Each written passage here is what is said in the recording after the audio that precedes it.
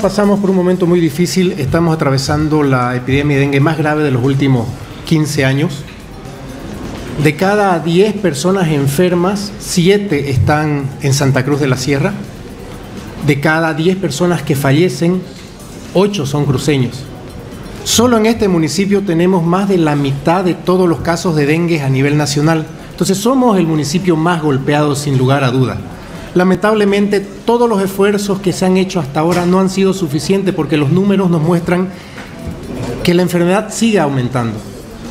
Creo que tenemos que pasar a buscar otras estrategias y la buena noticia es que ya hay una vacuna contra el dengue.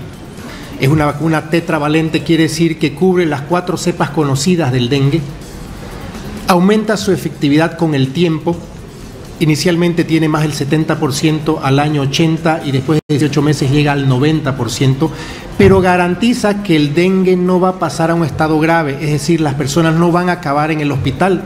Eso quiere decir que el ciudadano vacunado no va a ir a complicarse en una terapia intensiva o en un hospital. Entonces, es una solución que está al alcance de nuestro país y de nuestro municipio.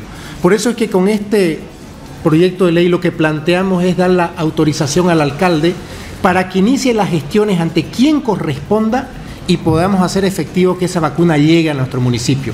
Pero también estamos enviando una nota al Ministerio de Salud para ponerles en conocimiento de que ya existe esta vacuna y para que ellos inicien los procedimientos para la importación del producto. Creo que si coordinan las autoridades, los gobiernos departamentales y el gobierno nacional, esto podría hacerse efectivo. Tenemos de una otra manera que ser los abanderados, los que tomamos la posta de la lucha contra el dengue, más todavía si hay una vacuna.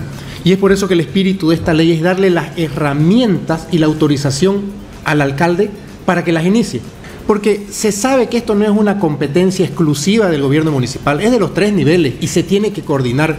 Y lo que se quiere con esto es que no pase lo que ha estado pasando, que es tu culpa, que es la mía, que es mi responsabilidad, y al final la gente queda en el limbo y no sabe a quién mirar.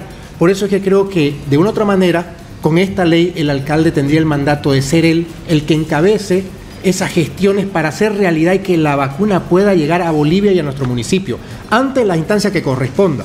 Y va a ser una muy buena noticia para todos los ciudadanos y sobre todo que se van a salvar vidas, porque está más que comprobado que ciudadano vacunado es un ciudadano que está protegido y que tiene pocas chances de llegar a un hospital y mucho menos de acabar perdiendo la vida.